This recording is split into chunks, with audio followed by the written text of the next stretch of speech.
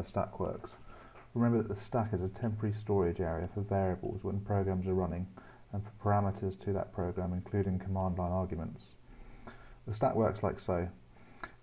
The stack is a LIFO queue, which means the last thing to go onto the stack is the first thing that comes off of the stack. And the way we put things onto and take things off of the stack is through two operations called push and pop. If we push something, it goes onto the stack. And then to take something off the stack, we use pop, and it takes the last thing that was put onto the stack off the stack. So if we push two things off the stack onto the stack, they would come back in the opposite order in which we put them on the stack. So if we push one thing onto the stack, we then push another thing onto the stack. This item then moves down one, so we've got two items in the stack. Now the first item that we pop off is the last one that we put on, and this is what we mean by a LIFO queue. The last thing that we put onto the stack is the first thing that came off that comes off the stack when we pop it off. So let's have a look at a simple program. This is a program written in assembly language. This stuff at the start is just setting the program up. We're saying the program is going to run on a 32-bit CPU. Everything that follows this section.text line is computer code, i.e. assembly instructions, and then we've got one label called underscore start, and this essentially sets the entry point to the program. When the operating system loads the program, where should it start running instructions? We then run a series of push instructions which push values in hexadecimal onto the stack, and then we run a series of pop instructions to take the values off of the stack and put them into registers, and then towards the end we've got a, a system call to actually exit the program. So what we're going to do is we're going to load this into the IDA debugger and actually have a look at what it's doing.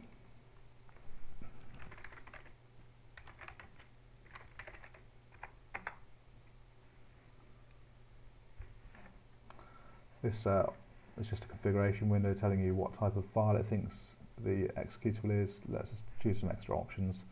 The defaults here are normally perfectly acceptable.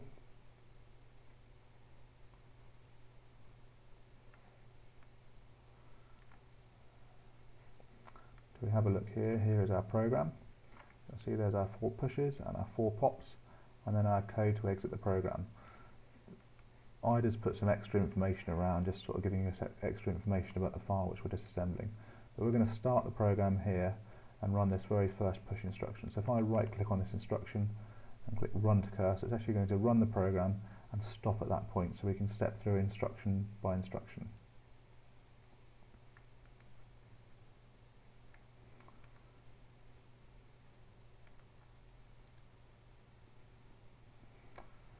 Now when the IDA debugger launches we get a slightly different configuration of windows. Just going to drag these down a little bit. We've got our disassembly up here. Is our actual code. Scroll down a little bit you can see the current instruction which we're running is highlighted by blue. We've got the values for all our registers here and we've got our stack contents here.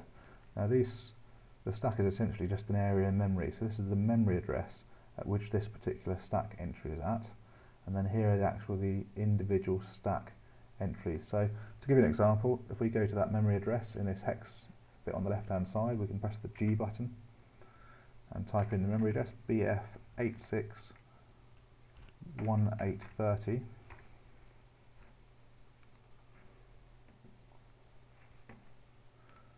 This is the very top of our stack. This is where the last thing that went onto the stack before our program started. You see it's this number one here.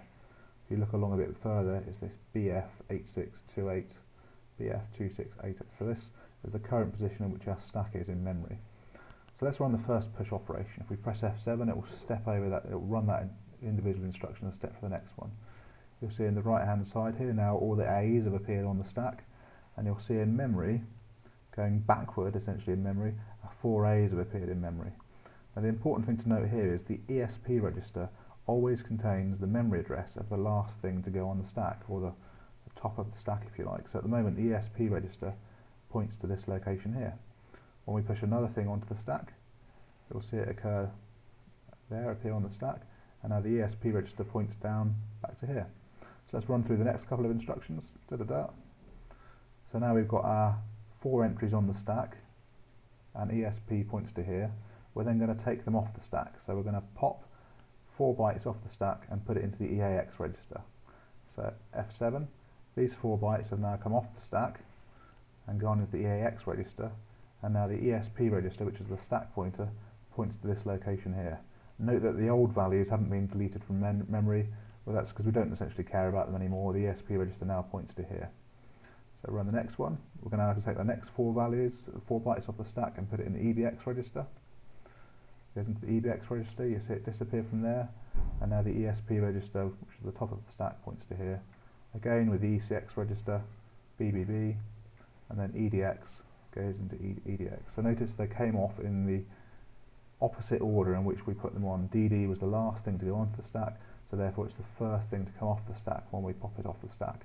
So that's a simple overview of how the stack works. Just keep in mind the stack is just somewhere in memory, somewhere in memory, and the ESP register points to the last thing to go on the stack, and every time we put something onto the stack, the ESP register points to four bytes backwards. It moves backwards through memory as we add stuff onto the stack.